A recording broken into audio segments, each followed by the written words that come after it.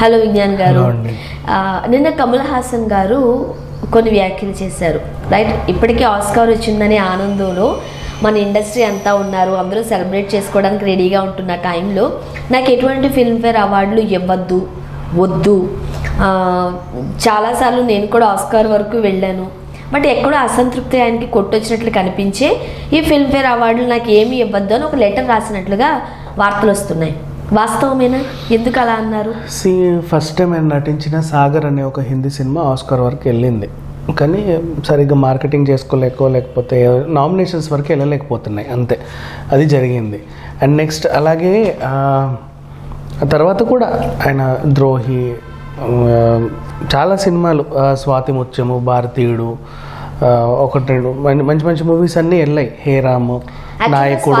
టైంలో కంపల్సరిగా ఆస్కార్ వరిస్తుంది అని అనుకున్నారట కోర్స్ సో అక్కడ వరకు వెళ్ళాయి కానీ రావట్లా. అంటే ఏడు సార్లు ఆయన అక్కడ వరకు ఇంకా నామినేషన్స్ కూడా దక్కించుకోకపోవడం ఏంటంటే సరిగ్గా మార్కెటింగ్ చేసుకోలేకపోవడం అనేది ఒకటి. కమల్ హాసన్ అంటే దాని చుట్టూ ఎవరు అంత శ్రద్ధ పెట్టలేదు ఈ సినిమాకి?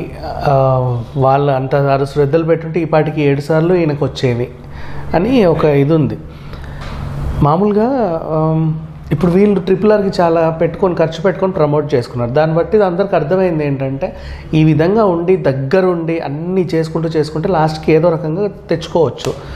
మనం ఇంతకుముందు నన్ను అంత పట్టించుకోవాలా?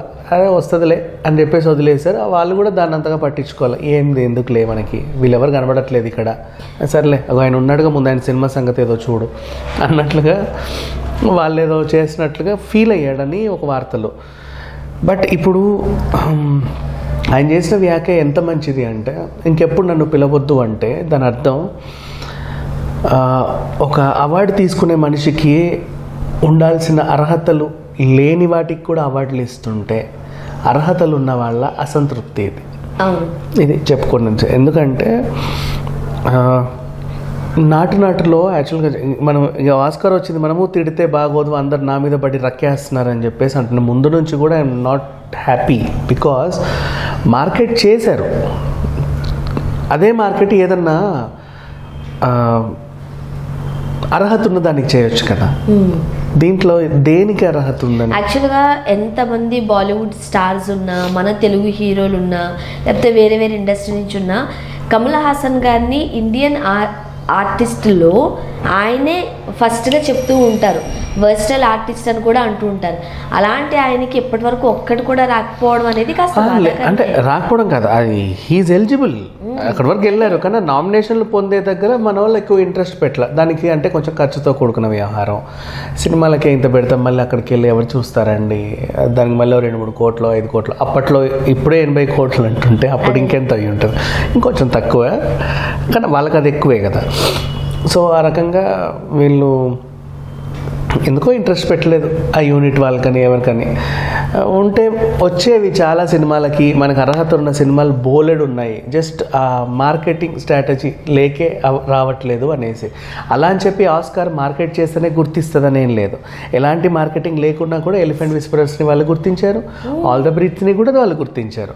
అట్లాంటి వాళ్ళు గుర్తిస్తారు. కాకపోతే కొంచెం మన వైపు నుంచి కూడా కొంచెం పుషప్ ఉంటే బాగుంటుంది కదా అదే వస్తుందిలే అని చెప్పి ఎందుకు అలా ఉండడం? ఇది వేరే విషయం. నెక్స్ట్ ఇప్పుడు ఆయన అసంతృప్తికి కారణం ఏంటంటే ఆర్ఆర్ఆర్కి రావడమే.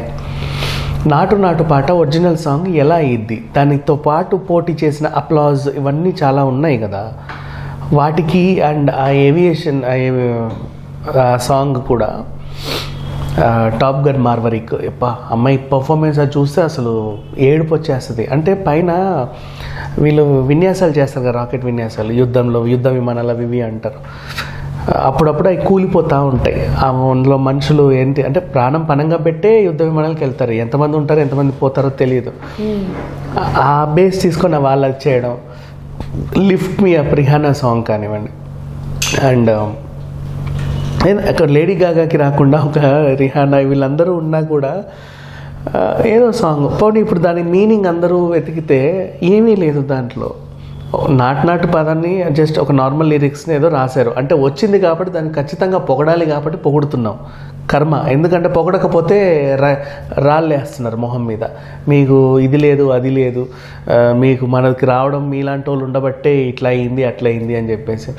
బాధ ఏంటంటే అర్హత ఉన్న వాటికి పోలేడు ఉన్నాయి వాటికి ఎందుకు ఇవ్వట్లేదు అని. అప్పుడు మా మాట్లాడలేని మా నోర్లన్నీ సర్లే ఏదో వచ్చింది కదా హీ అని నవ్వేసి ఊరుకున్నా అమ్మాయి పర్లేదులే వీడు కూడా దారికి వచ్చాడు అనుకుని. మన భరద్వాజ గారు కూడా అనింది కరెక్టే ఇప్పుడు ఆ అసంతృప్తిని కమల్ హాసన్ గారు చెప్పేసరికి అందరికీ అలా వెలిగింది. ఎందుకు అర్హత లేదంటే అన్నీ చెప్తున్నావు అది కూడా చెప్పు అంటారు. నిజంగా చెప్తున్నాను నేను ఇప్పటికీ ఇప్పటికి వంద సార్లు చెప్పాను మళ్ళీ మళ్ళీ చెప్తున్నా. ఒక అల్లూరి సీతారామరాజు అండ్ ఒక కొమరం భీము చేతుల మీద చేతులు వేసుకొని నాటు నాటు నాటు అని గెంతారు ఇంగ్లీష్ వాళ్ళ దగ్గర. అది అంటే అది డైజెస్టివ్ లేని and logic less number one. వాళ్ళిద్దరు జీవితంలో ఎప్పుడు కలవాలను కలిపాం. అవునా? నిజంగా లాజిక్స్తో చేసే సినిమాలకి గుర్తింపు లేదు. ఇప్పుడు కమల్ హాసన్ గారి దశావతారానికి లాజిక్ ఉంది. అండ్ ఆయన సినిమాలన్నిటికీ కూడా హేరామ్ కానివ్వండి భారతీయుడు కానివ్వండి ఏంటో దేనికైనా ఒక లాజిక్ ఉంది. ఒక ఇన్ఫర్మేటివ్ ఇన్ఫర్మేషన్ ఉంది. అతి లేదు ఏమీ లేదు. అండ్ అతి అంటే దాంట్లో అప్పట్లో కూడా భారతీయ విమర్శ ఒక ముసలోడు ఇట్లా ఇట్లా అని చంపడం ఏంటి? అని చెప్పేసి అన్నారు కానీ అతనిలో. అతనిలో ఉన్న భారతీయత అది నెక్స్ట్ అదొక విద్య మీరు అన్నట్టు ఆ విద్య ఒకటి ఆ టెక్నిక్ ఉపయోగించి ఎలా చంపాలో అలా చేశాడు. మలయాళంలో అయితే కేరళ వాళ్ళ దగ్గర ఆ విద్యలు చూస్తూ ఉంటాం. కలరీ విద్యలో కూడా కొన్ని ఉంటాయి. వాళ్ళకి ఏవో తెలియని కొన్ని కొన్ని వింత వింతలు.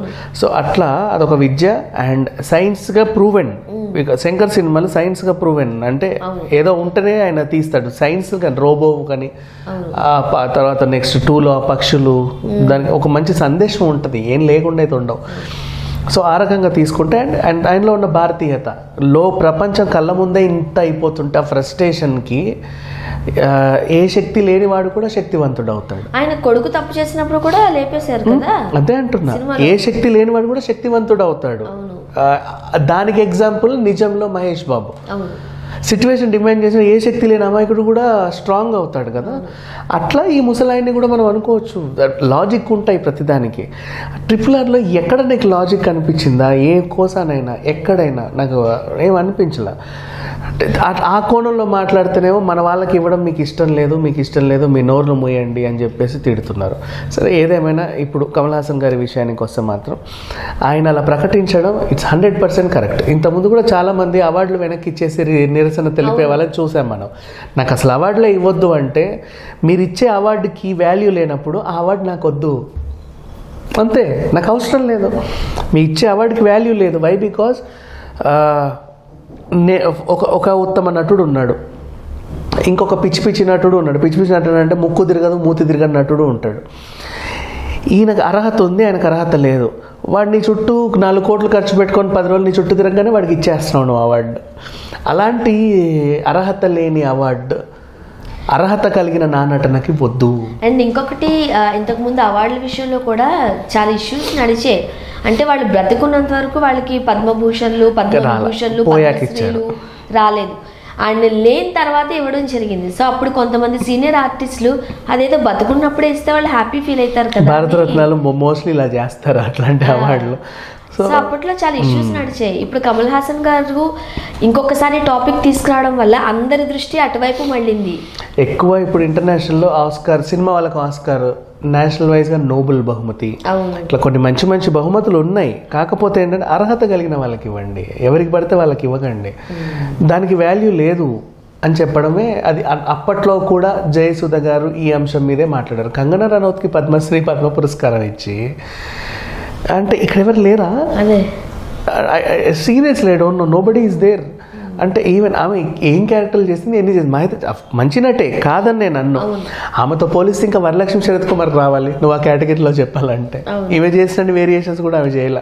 ఇంకా చెప్పాలంటే రెజినా కాసందరికి ఇవ్వాలి. ఆ సినిమాకి. ఆ అమ్మాయి పాప మొత్తం షేవ్ చేసేసుకుంది.